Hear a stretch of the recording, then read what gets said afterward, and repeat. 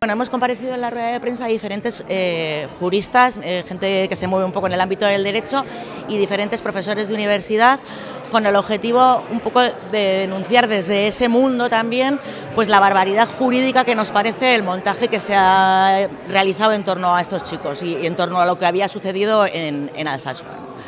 Fundamentalmente lo hemos hecho en este momento y no en otro porque en estos días se va a examinar eh, o se va a volver a revisar por qué eh,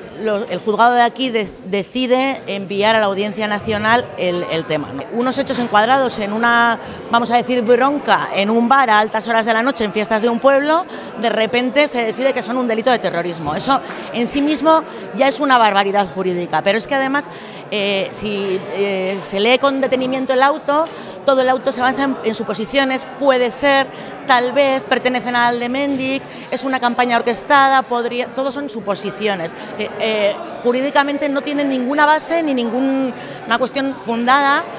para establecer que esto ha sido un delito de terrorismo y hemos de recordar, recordar que la ley del enjuiciamiento criminal, el artículo 2, habla de la presunción de inocencia y que desde luego aquí se la han saltado y además de haber de sumarse a eso el hecho de que eh, hay tres chicos en este momento en prisión incondicional que han pasado todos eh, por la cárcel, que han estado incomunicados, en fin, una serie de barbaridades que desde luego jurídicamente no tienen ningún sustento.